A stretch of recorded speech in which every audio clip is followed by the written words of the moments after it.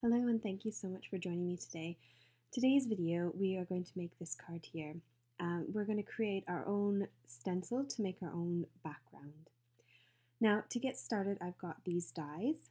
I'm just sharing with you some of the ones I have in my stash. They are all layering dies and they are all from Alina's shop on AliExpress. So I've got these heart ones here. They're a set of four and they layer together. I won't be using these today, but I have got a video coming up in the next few days with them. Um, these are what they look like when they're die cut out, just in case you're curious. Um, any of these kind of background dies or layering dies work great for this technique because it's all about taking what you've got and making use of it and making a second use for it. So today I will be sharing with you how to make a stencil using a background die.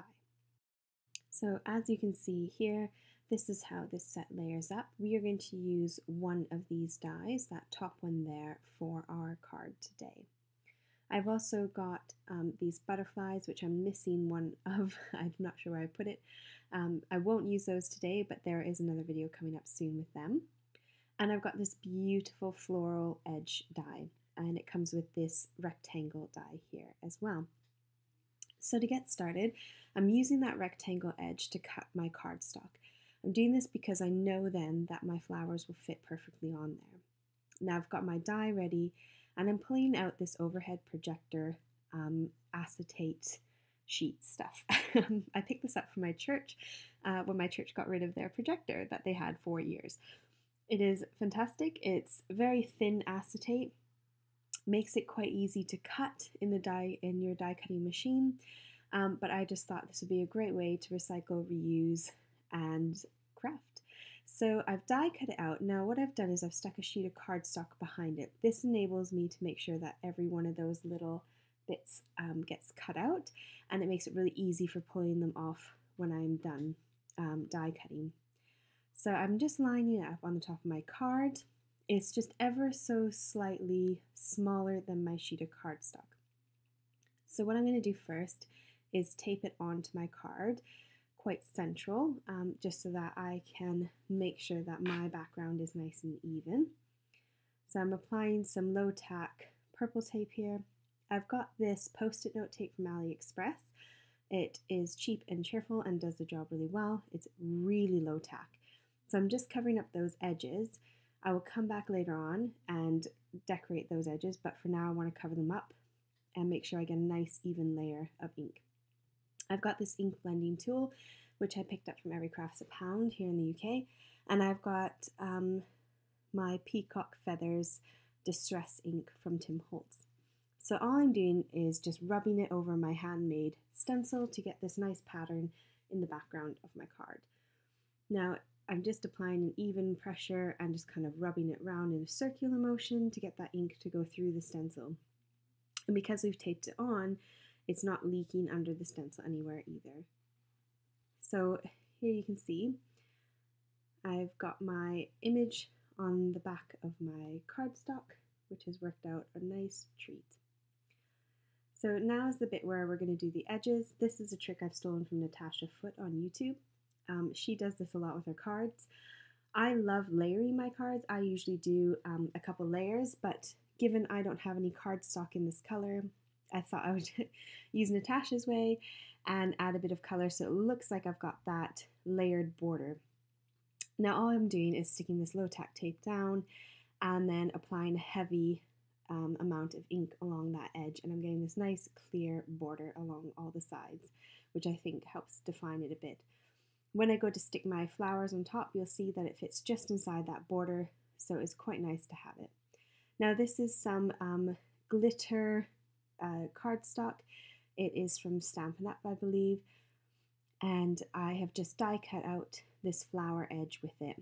Now, normally when I do something a bit intricate like this, I take the time to add some um, double-sided sticky tape on the back before running it through, but given it's such a thick bit of um, glitter card, it would have been really difficult to cut all the way through. So I'm doing it the painstaking way. I am taking my liquid glue. This is a tonic um, glue and I am painfully applying it to the back. It did take a quite a while. This is probably the longest um, thing that on my card uh, for me to do, but it's well worth it. And basically, I'm just applying the thinnest layer possible onto the whole back of that, and then I'm doing my best to line it up nice and straight in my card. And this is where my little border actually helps me as well because I'm kind of lining it up along with that and I'm getting it nice and straight, which is really, really satisfying because I'm good at wonky, not so good at straight. Another trick, grab a bit of scrap paper, stick it on the top and give it a firm rub and then that way you can make sure it's adhered down. This is my special envelope of sentiments. I have a lot of shadow dies, uh, layered dies, and I love using those in my card making. I've pulled out the word happy and I've got this birthday stamp set here which I picked up from Craft Stash. I'll try and link everything I can down below for you so if you're wanting to find any of these supplies hopefully you'll be able to find it down below in the um, description box. So what I'm doing now is applying some of Alina's double-sided sticky sheets. I use these all the time in my crafting. I did manage to stick it on the back of that glitter, little bit of glitter card for the happy birthday. This makes um, putting your dies together really quick and easy, but it is permanent. So when you stick it down, make sure you've got it lined up nicely because when it goes down, it's not coming off. You don't really get much wiggle room like you do with a liquid glue. So I've die cut it out three times plus my glitter cardstock. So I've got four layers in total for my sentiment, um, for my word happy. So I've just stuck my three cardstock layers together. All my cardstock that I use today has come from Lime Tree Craft in the UK. I'll link them down below as well. I use their 300 GSM cardstock. So here's my glitter H um, in the same white glitter I use for my flowers. Now this is where it's a bit tricky. I'm having to peel off those die cut out bits um, because it didn't cut all the way through that backing paper, which is fine. I only needed to cut through the shiny stuff. So here's my layers all finished. I've got my four layers of the H and then the Appy.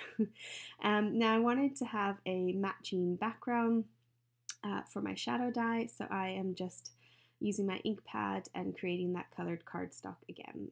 Now I'm running that through and I've got my um, background which matches with my card front.